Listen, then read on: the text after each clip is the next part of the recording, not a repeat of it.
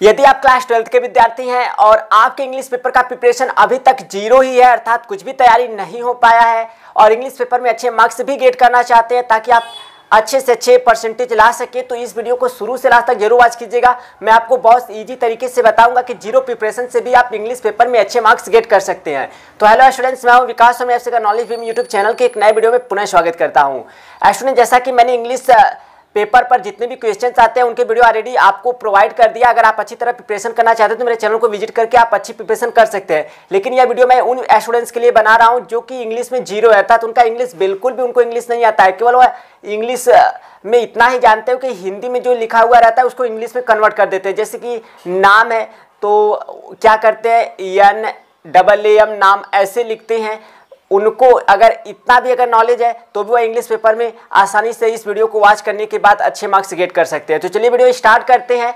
Specially video week के students के लिए, अगर आपको अच्छी प्रिपरेशन करनी है, आप थोड़ा सा तेज स्टूडेंट है या फिर मिडल के हैं तो मेरे चैनल को विज़िट करके आप वीडियो वॉच कीजिए, आपका अच्छा प्रिपरेशन हो जाएगा और अच्छे मार्क्स गेट करेंगे। स्पेशली वीडियो उन स्टूडेंट्स के लिए जो ज़ीरो है इंग्लिश में। तो स्टूडेंट्स अगर आपकी इंग्लिश आपको इंग्लिश बिल्कुल भी नहीं आती है तो जैसा कि आप जानते हैं क्वेश्चन पेपर में जो इंग्लिश का क्वेश्चन पेपर होता है, उसमें कुल थर्टीन क्वेश्चन होते हैं। जो आपका तेरहवा क्वेश्चन होता है, जो तेरहवा क्वेश्चन है, देखिए, मैं उन स्टूडेंट्स को बता रहा हूँ, जिनको इंग्लिश बिल्कुल भी नहीं आता है, ठीक है? जिनको इंग्लिश बिल्कुल भी नहीं आता, जैसे केवल उनको इतना ही इंग्लिश आता है, क्योंकि ज़्यादातर स्टूडेंट्स मोबाइल चलाते हैं तो उनको टाइप करना मैसेज टाइप करना इंग्लिश में तो आता ही होगा। जैसे कि, जैसे लिखा है मैं, ठीक है? मैं लिखा है तो आप तो ऐसे आराम से ही टाइप कर लोगे। मैं ठीक है, इस तरह से अगर आपको लिखने आता है तो भी आप अच्छे मार्क्स गेट कर सकते हो। तो इस वीडियो को शुरू से लास्ट तक ज़रूर वॉच कीजिएगा। तो क्वेश्चन नंबर जो थर्टीन आता है, उसमें आपको अनसीन पैसेज देखने को मिलता है। यानी एक पैसेज दे दिया जाएगा ऊपर का डांस और उसके बाद नीचे क्वेश्चन देगा, और उसको पढ़ने के बाद आपको, उस पैसेज को पढ़ने के बाद नीचे जो प्रश्न रहेगा, उसी का आपको उत्तर देना है। ठीक है? तो अब अगर आपको बिल्कुल भी नहीं आता है कि भाई इसमें जो पहला क्वेश्चन पूछेगा, हमको क्या पता, क्या पूछ रहा है, ठीक है? अगर आपको बिल्कुल भी नहीं पता है तो आप कीजिएगा। क्या कि जो क्वेश्चन में जो रहेगा, प्रश्न, यानी जो प्रश्न में रहेगा, जो भी वो अक्षर लिखे रहेंगे, अगर आपके इस अनसिन पैसेज वाले गद्दान से जो कहीं पर मैच किया तो आप पूरा लाइन लिख दीजिए आंसर के रूप में। आंसर के रूप में वो पूरा लाइन लिख दीजिए। अगर एकदम भी नहीं समझ आ रहा है तो पूरा वह पैसेज ही उतार दीजिए। पूरा पैसेज उतार दीजिए हेडिंग अच्छी तरह से डाल दीजिए आंसर के रूप में। ठीक है, अच्छी तरह से हेडिंग डालकर अगर बिल्कुल भी नहीं समझ आए तो पूरा पैसेज उतार दो। इसकी तरह अगर दूसरा क्वेश्चन है, इसमें जो है, इसमें भी जो क्वेश्चन है, अगर इसमें कुछ अच्छा उस पैसेज से मैच किया तो उसको पूरा लिख दो। अगर इसमें भी आपको बिल्कुल भी नहीं आ रहा है तो पूरा पैसेज उतार दो। आंसर अच्छी तरह हेडिंग डाल के पूरा पैसेज उतार दो। कोई प्रॉब्लम नहीं है, आपको छोड़ने से या फिर आपका आंसर अगर नहीं आ पाएगा, इससे अच्छा है कि पूरा पैसेज उतार दो, आपका आंसर उसमें ज़रूर आ जाएगा। इसके बाद तीसरा क्वेश्चन है, ठीक है, इसमें तीसरा जो आएगा सेम वैसा ही प्रोसेस इसमें भी करना है। अगर आपको जो क्वेश्चन दिया हुआ है, वे अच्छा अगर इस पैसेज से मैच किए तो ठीक है, नहीं मैच किए तो आप पूरा उतार दो। पूरा पैसेज का आंसर के रूप में लिख दो, ठीक है। और एक क्वेश्चन ज़रूर आएगा, रेखांकित वाला, कि रेखांक रेखांकित भाग को एक्सप्लेन कीजिए, उसमें चाहे तो तिरछा लिख देगा पेपर में कुछ वर्ड्स या फिर उस पर अंडरलाइन कर देगा।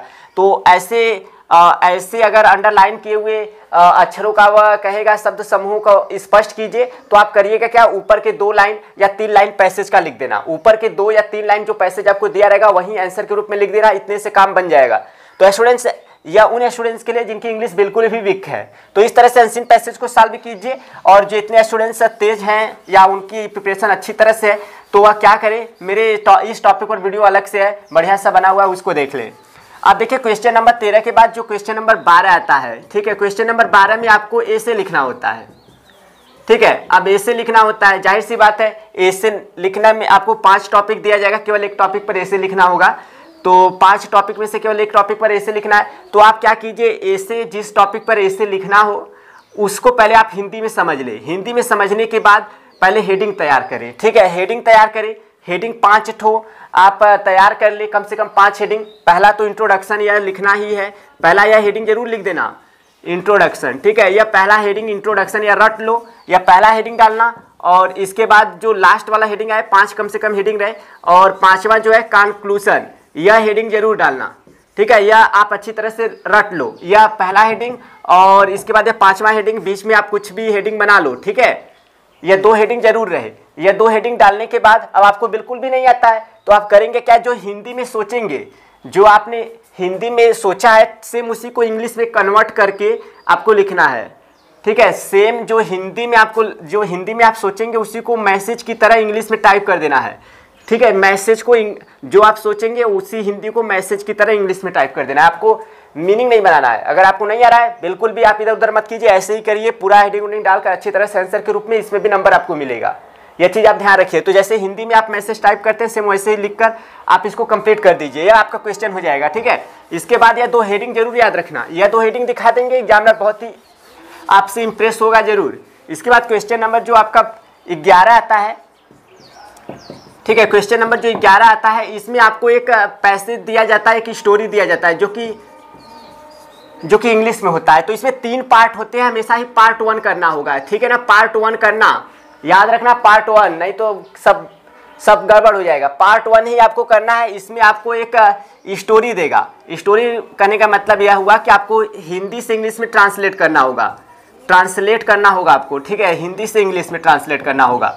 तो हिंदी से इंग्लिश में ट्रांसलेट करने आपको आएगा नहीं? ज़ाहिर सी बात है, नहीं आएगा। तो आप अच्छी तरह से हेडिंग डाल लेना। अच्छी तरह से हेडिंग यानी आंसर के रूप में लिख लेना, उसके बाद जो आपका वह हिंदी में रहेगा पैसेज उसी को सेम इंग्लिश बना के लिख देना। सेम जैसे मैसेज टाइप नहीं करते हो, उसी तरह आपको इंग्लिश बनाकर उसको लिख देना है। ठीक है, उसको इंग्लिश बनाकर लिख देना है। जैसे कि मैं पढ़ता हूँ तो आप क्या करेंगे? मैं पढ़ता हूँ। इस तरह से आप बनाओ। बिल्कुल नहीं आ रहा है तो इस तरह से मैसेज की तरह बनाओ। ज़ीरो लेवल की तैयारी है, उनके लिए मैं बता रहा हूँ, ठीक है? इस तरह से यह वाला ही पार्ट वन करना है, ये चीज़ माइंड रखो। इसके बाद यह आप करेंगे, इसके बाद क्वेश्चन नंबर जो आपका टेन आता है तो क्वेश्चन नंबर टेन जो आएगा, वह ग्रामर पोर्सन आता है, ठीक है? इसमें सही गलत आपको जो अच्छा लगे कर दो, ठीक है? करो ज़रूर। क्वेश्चन नंबर टेन में जो भी आपको कुछ है, वह करो, गलत सही करो। इसके बाद क्वेश्चन नंबर जो यह वाला, जो बेगर पढ़े नहीं हो पाएगा, फिर भी आप गलत से उसमें करो। इसके बाद क्वेश्चन नंबर जो नाइन आएगा, उसमें डायरेक्ट नरेशन यानी कि डायरेक्ट डायरेक्ट नरेशन से इनडायरेक्ट नरेशन में चेंज करने के लिए आपको आएगा। एक ठो केवल सॉल्व करना होगा उसमें से तो आप पहले क्या कीजिएगा, यह कामा और इन्वर्टेड कामा यह पहले, यह यह पहले हटा देना। और कामा को भी हटा देना और बीच में अगर चाहो तो देख लेना, दैट वोट लगाना हो तो लगा देना, छोड़ना नहीं है, ठीक है ना? कामा इन्वर्टेड कामा यह दोनों पहले हटा देना। इसके बाद जो आपका सिंथेटिस का आएगा, उसी तरह दोनों वाक्यों को जोड़ देना। दोनों वाक्यों को जोड़ देना, एक ही में मिला देना और जो आपका सिंथेटिस सॉरी सिंटेक्स का क्वेश्चन आएगा, उसमें कहीं पर आपको चार में से दो करना होगा, सही, गलत, उसमें तो वह पूरा दोनों, दो वाक्य उसमें से सिंटेक्स में से देख लेना, कुछ मिस्टेक उस्टेक अगर समझ में आए तो करना, नहीं तो उसको भी उसी तरह उतार देना। थोड़ा बहुत गलती होता है कभी कभी एग्जामिनर बना देते हैं, ठीक है? और उसके बाद ट्रांसफॉर्मेशन में क्या है कि जैसा पूछेगा सेम उसी तरह अगर क्वेश्चन को इधर उधर कर दो कर दो, गलत सही कर दो, या बगैर पढ़े दोनों टॉपिक नहीं आएगा, गलत से इसको कर दो, ठीक है ना? इसके बाद क्वेश्चन नंबर जो आपका आता है एट तो क्वेश्चन नंबर एट में आपको फिगर्स ऑफ़ स्पीच ठीक है? फिगर्स ऑफ़ स्पीच किसी भी फिगर फिगर्स ऑफ़ स्पीच से पूछा जाता है क्वेश्चन ठीक है? फिगर ऑफ़ स्पीच से पूछा जाता है, लेकिन फिगर ऑफ़ स्पीच तो आप रट लो। फिगर ऑफ़ स्पीच में आप शुरू के जो आपके सिमिली हैं, इसका डिफिनेशन याद करो, परिभाषा याद करो एग्ज़ाम्पल के साथ एक एग्ज़ाम्पल याद कर लो। बहुत ही सिंपल तरीके से मैंने इस पर वीडियो बनाया हुआ है, जाकर देख लो मेरे चैनल पर। एग्ज़ाम्पल के साथ इसको याद कर लो मेटाफर का याद कर लो, और जो है ऑक्सीमोरन का याद कर लो, चार बस याद कर लो। तीन में से एक का देना होगा आपको उत्तर। चार फिगर ऑफ़ स्पीच का डिफिनेशन एग्ज़ाम्पल के साथ इसको रट लो। ठीक है, इसको तो इस पे आपको पूरे मार्क्स यानी कि चार नंबर आपको मिल, लेना ही लेना है, ठीक है ना? पूरे नंबर इस पे लेना है, इसको रट लो अच्छी तरह से। इसके बाद जो आपका आता है सातवां क्वेश्चन ठीक है ना? मैं जल्दी जल्दी बता रहा हूँ, केवल वीक स्टूडेंट्स के लिए बता रहा हूँ, जिनका बिल्कुल भी प्रेशर नहीं वो परेशान है उनके लिए। और बोर्ड बोर्ड एग्ज़ाम की कॉपी पर कैसे लिखना है, मैंने वीडियो बनाया है, उससे ज़रूर देख लेना। इसके बाद क्वेश्चन नंबर जो सेवन है, ठीक है? क्वेश्चन नंबर जो सेवन है, यह आपका आता है सेंट्रल आइडिया लिखने को। ठीक है सेंट्रल आइडिया लिखने को आता है। अब सेंट्रल आइडिया लिखने को आता है तो ज़ाहिर सी बात है सेंट्रल आइडिया आप लिखे। अब देखो सेंट्रल आइडिया लिखने के लिए आता है, तीन सेंट्रल आइडिया देगा, केवल एक का लिखना है, और दस लेसन पूरे हैं पोयम में तो आप स्टार्टिंग के चार लेसन का सेंट्रल आइडिया रट लो। स्टार्टिंग के चार लेसन का सेंट्रल आइडिया रट लो, उतने में से काम हो जाएगा। चार लेसन का सेंट्रल आइडिया रट लो मैंने आपको पहले बताया था कि इसको अच्छी तरह से पहले लर्न कर लो। सेंट्रल आइडिया अच्छी तरह से रट लो छः नंबर इसमें फिक्स हो जाएगा। और सेंट्रल आइडिया जैसे ही लर्न कर लेते हैं, आपका जो क्वेश्चन नंबर सिक्स है, जो आपको एक स्टेंजा का रेफरेंस कॉन्टेस्ट के साथ एक्सप्लेनेशन करना होता है इंग्लिश पोइट्री से जो स्टेंजा दिया जाएगा दो में से एक का रेफरेंस कॉन्टेस्ट के साथ एक्सप्लेनेशन करना होता है। अगर आपको सेंट्रल आइडिया याद है उसी आ, उसी कविता से अगर आ गया स्टेंजा तो पूरा आपको मैंने तरीका बताया किस तरह से सेंट्रल वो पूरा सेंट्रल आइडिया ही लिख दो तुम एक्सप्लेनेशन में। रेफरेंस किस तरह से लिखना है कॉन्टेस्ट किस तरह से लिखना है आ, मैंने यह बताया हुआ है। बस एक वीडियो मेरा देख लो कि कैसे स्टेंजा का रेफरेंस कॉन्टेस्ट के साथ एक्सप्लेनेशन करें। एक वीडियो से काम हो जाएगा। ठीक है इसके बाद आपका और भी क्वेश्चन आएँगे। ठीक है अब उसके बाद जो क्वेश्चन नंबर फाइव आता है आपका ठीक है, जो क्वेश्चन नंबर फाइव आता है, ये आपका आता है शॉर्ट स्टोरी से। इसमें आपको आंसर लिखना होता है। शॉर्ट स्टोरी से आता है। तो अगर कहानी आप सुने हुए हैं, ठीक है, कहानी अगर आप सुने हुए हैं, आपको इंग्लिश में नहीं लिखने आ रहा है, आप हिंदी, जैसे हिंदी के में सोचकर उसको इंग्लिश की तरह जो मैसेज होता नहीं है, उसको टाइप कर दो। उसी तरह से नहीं लिख दो। जैसे मैसेज लिखते हैं इंग्लिश में हिंदी का, उसी तरह लिख दो। या आपका इसमें से क्वेश्चन नंबर फाइव में भी कुछ काम हो जाएगा। और उसके बाद क्वेश्चन नंबर जो फोर आता है यह आपका आता है मर्चेंट ऑफ़ वेनिस से मर्चेंट ऑफ़ वेनिस से आता है, इसमें भी क्वेश्चन आंसर होता है, अगर कहानी सुने हुए हैं कुछ समझ में ज़्यादा आ नहीं रहा है तो आप क्या करो कि पोर्सिया का पहली बात है कि एक कम से कम एक क्वेश्चन तो तैयार कर लो, पोर्सिया का चरित्र। फिर भी नहीं अगर तैयार होता है, बिल्कुल भी नहीं समझ में आ रहा है। सेम इसको जैसे आप हिंदी में मैसेज को इंग्लिश में टाइप करते हो, उसी तरह टाइप कर दो। अगर कहानी याद है तो नहीं आ रहा है, कोई बात नहीं, छोड़ना नहीं, गलत से उसी में कर देना है। और कभी भी पेपर में, इस प्रश्न का उत्तर पेपर के पीछे से, आगे से ऐसे कभी मत लिखना। वहीं पूरा उतार दो प्रश्न लेकिन वह कभी भी आगे पीछे से मत लिखना, उससे पूरा कर जाएगा।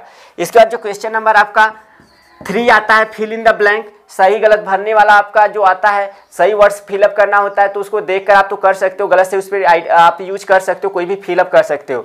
इसके बाद जो क्वेश्चन नंबर आपका टू आता है, वो आपके इंग्लिश प्रोज से क्वेश्चन आंसर लिखने के लिए आता है। तो यह भी आप अगर स्टोरी याद है तो ठीक है, गलत सही उसको लिखो, कहा, जो हिंदी को इंग्लिश में कन्वर्ट करके उसी तरह लिखो, आपको सेंटेंस बनाने नहीं आता है तो बस हिंदी वाला मैसेज को इंग्लिश में टाइप कर दो, ठीक है? जैसे हिंदी के में आप मैसेज को इंग्लिश में टाइप करते हो, उसी तरह। उसी तरह लिख दो इंग्लिश बनाकर। और क्वेश्चन नंबर पहला तो आपको 100 परसेंट अच्छे अच्छे तरीके से करना है। क्वेश्चन नंबर पहले में रेफरेंस कॉन्टेस्ट के साथ आपको किसी एक पैसेज का एक्सप्लेनेशन करना होता है रेफरेंस कॉन्टेस्ट और एक्सप्लेनेशन अच्छा हेडिंग डालो। और मैंने इस टॉपिक पर वीडियो बनाया है कि किस तरह से आप इसमें से अच्छे मार्क्स गेट कर सकते हैं, बगैर तैयारी के। बगैर तैयारी को मैंने बताया वो वीडियो भी जा, जाकर मेरे चैनल को आप ज़रूर एक बार वॉच कर लो। तो इस टॉपिक को और इस टॉपिक को ठीक है? या मेरे चैनल को विज़िट करके दोनों वीडियो देख लो एक एक वीडियो देख लोगे आपका तैयार हो जाएगा। तो चैनल पे चैनल को यह सारे वीडियो से देखने के लिए आपको करना क्या होगा आ, मेरे चैनल को विज़िट कीजिए। मैंने कल का करीब थर्टीन वीडियो तेरह वीडियो बनाया है तेरह तेरह क्वेश्चंस को सॉल्व करने के लिए। किस तरह से करेंगे सारे उसके लिए आप मेरे चैनल को विज़िट कीजिए। और हो सके तो चैनल को सब्सक्राइब भी कर लेना। और वीडियो को डिसलाइक मत करना क्योंकि मैंने उन स्टूडेंट्स के लिए बनाया है जिनका प्रिपरेशन ज़ीरो लेवल का है, यानी उनकी तैयारी बिल्कुल भी नहीं हो पाई है। तो वीडियो को लाइक करिएगा, कभी भी डिसलाइक मत कीजिएगा क्योंकि इससे मुझे काफ़ी डिमोटिवेशन मिलता है। बिकॉज़ ये सारे वीडियोस मैंने आप ही लोगों के लिए बनाए हैं और इसमें स्पेशली मैंने वीक स्टूडेंट्स को बताया कि किस तरह से करना होगा। तो मिलते हैं नेक्स्ट वीडियो में, तब तक के लिए thank you so much for watching this video